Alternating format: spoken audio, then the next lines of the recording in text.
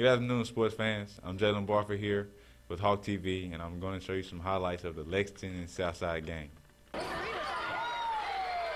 Here we have Chris McNeil throws a pass to Barford, pass to Malik Hicks with a fantastic dunk. And Chris McNeil before halftime with the long, deep three. He's very excited after that. You see that? Chris McNeil throws to Barford for the bump and the foul, and one. Barford come down again. Nice crossover with the finish. Finesse layup. That was real nice right there.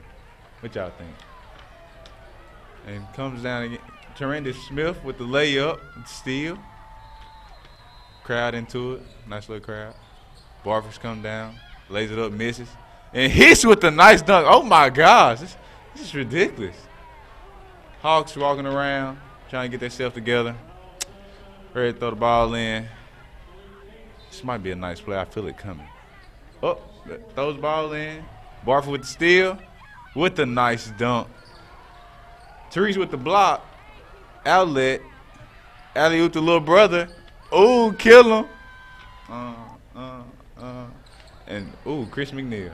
Chris McNeil. Mama, there goes that man. Chris McNeil. Yes, come back out, Chris.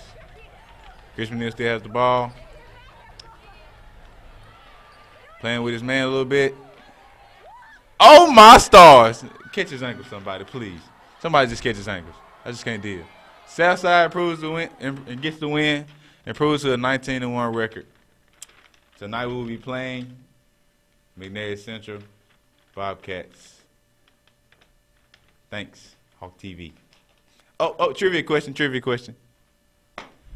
What kind of shoes did I have on last week?